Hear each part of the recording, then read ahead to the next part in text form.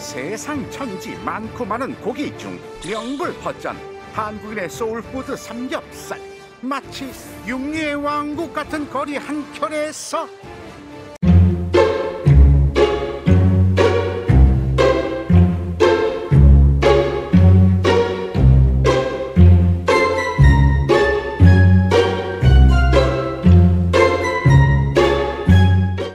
생선구이로 당당히 도전장을 내민 자가 있었으니. 저희는 한 분의 손님이 100번 올 수 있도록 정성을 다해서 준비하는 그런 가게로 만들고 싶습니다. 오직 한 곳에서 한 우물만 탔다. 숨은 보석처럼 뜻밖의 감동을 선사하는 한 우물의 법칙 지금 만나봅니다 수많은 고기의 유혹 속에서도 늘 식객들 발길 끊이지 않는다는 이곳 휘황찬란한 고기 속 생선구이 단 하나로 끝 맛집의 조건 중에 하나예요. 단순하지만 강력한 한 방으로 당당히 정면 승부에 나섰다. 겉은 너릇 속은 뽀얀 생선구이. 일단 위치부터 범상치 않은데 가자미구이. 자세히 보니 천장 곳곳에 자리한 요요요 의문의 고깃집 한 풍구. 생선 나왔습니다. 이렇게 나와요? 삼겹살 같은데. 뭔가 수상한데. 그러고 보니 그릇 자체도 어디서 많이 그러네요. 본 소뚜껑 듯한데 삼겹살처럼. 그건 바로 소뚜껑 하나부터 열까지 꼭 고깃집을 방문케 하는 여러 요소들 그리하여 먹는 방식 또한 남다르니. 소뚜껑에서 구운 생선구이의 법칙 마치 고기처럼 쌈을 싸먹는다. 이거 참 신기한 광경 뜨겁게 해서 먹으니까 그 비릿한 향이 전혀 안 나고 계속 끝까지 뜨겁게 따끈따끈하게 먹을 수 있는 게 가장 좋은 장점인 것 같아요. 소뚜껑 위에다가 생선을 계속 이제 얹어서 고온 유지도 되고 겉은 바삭한데 속은 촉촉해서 정말 특별한 것 같아요. 끝까지 겉바 속촉 맛있게 다섯 가지 다양하게 골라 먹는 재미 여기에 생선구이의 매력을 한층 극대화시켜줄 부드러운 두부 쫄깃한 팽이버섯 그리고 매콤한 거덕까지 엄청 알차네요. 생선고기 나왔습니다. 푸짐한 인심이 느껴지는 메뉴 주인장 부부가 일궈낸 야심작이라고 저희가 이제 삼겹살을 한 30년 했는데요. 서문 시장에는 삼겹살 거리거든요. 근데 삼겹살 거리에서 생선 구이를 한번 해보면 괜찮겠다 역발상으로. 그래서 신랑이 조언해갖고 서로 의견이 맞아가지고 하게 됐어요. 바꾼 거군요. 삼겹살 30년 경력 노하우를 살린 소뚜껑 위 노릇노릇 푸짐한 한판 직접 농사 지은 쌈 채소 곁들여 주인장표 모듬 생선구이 탄생 버섯 올려. 입이 작아서 먹을 줄 아시는 분이다. 갈치는 저렇게 먹어요. 이곳 생선 구이만의 특별한 매력에 식객들 홀린 듯 매료되는 건 당연지사 생선들이 아주 살이 통통하고 식감도 너무 좋아서 너무 맛있어요. 생선살이 너무 야들야들해서 입안에 넣기만 하면 그 겉에는 바삭바삭하고 속살은 부들부들해서 씹는 맛과 녹아내리는 맛이 같이 어우러져가지고 너무너무 맛있게 먹을 수 있습니다. 생선구이를 먹으니까 자꾸 입맛이 땡겨서 한 공기 더 먹었습니다. 그렇죠, 그렇죠. 흰 쌀밥 위에 노릇한 생선 한 점. 요 짭조름하면서도 고소한 마성의 맛. 가을철 한껏 무르익은 이 맛을 제대로 끌어올려줄 겉은 바삭 속은 촉촉한 생선구이. 분명 숨겨진 비법이 있다. 파헤쳐보자. 손질을 거친 후 매일 아침 가게로 도착한다는 생선. 주인장이 도심 끝에 추려낸 맛깔난 라인업. 모두 한 곳에 집합하고 나면 곧이어 염장 준비 돌입. 근데 자세히 보니 소금을 뿌리지 않고 소금물을 만들어 생선에 뿌리는 주인장.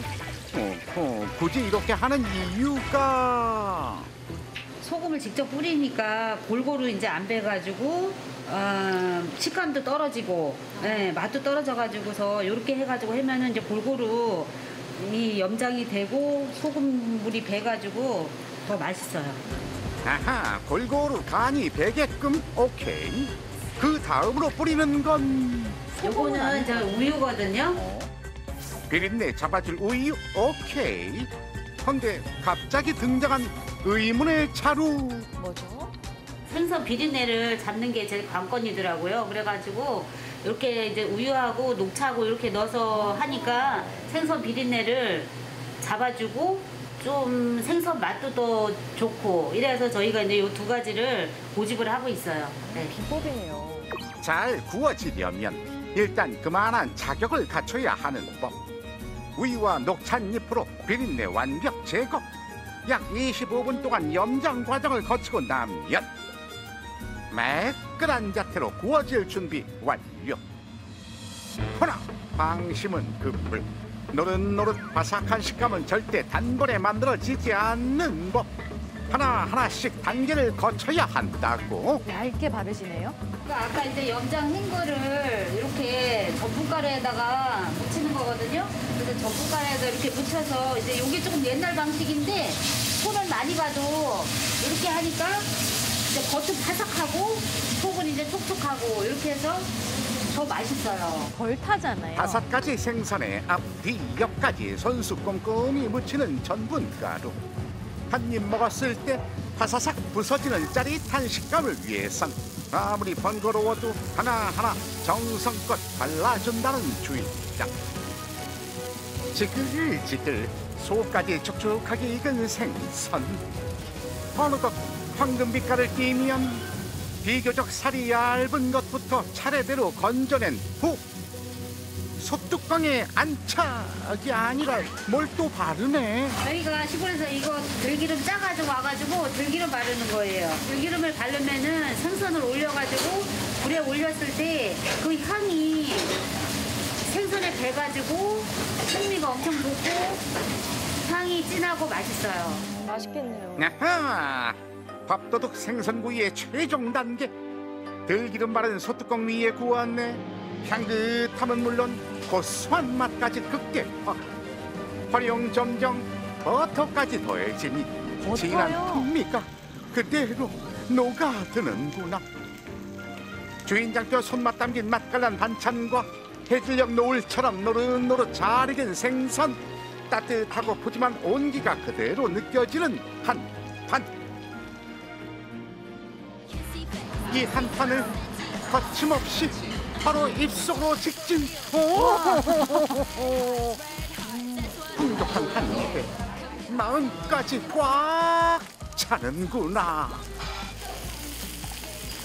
생선구이랑 직접 만드신 반찬들을 먹으니까 사장님이 너무 이제 정성을 들인 게 느껴져가지고 약간 집밥 먹은 느낌으로 잘 먹은 것 같습니다. 두부에다가 생선 얹으시고 이 더덕을 얹으시면요 고소하고 담백하고 짭조름하면서 칼칼한 그 맛이 진짜 일품이에요. 요 삼합 꼭 만들어서 드셔보세요. 소뚜껑 위에 더덕 무침과 그리고 두부 그리고 팽이버섯 이렇게 여러 가지의 매력을 생선의 조화를 막 해가지고 먹을 수 있다는 점이 제일 좋은 장점인 것 같아요.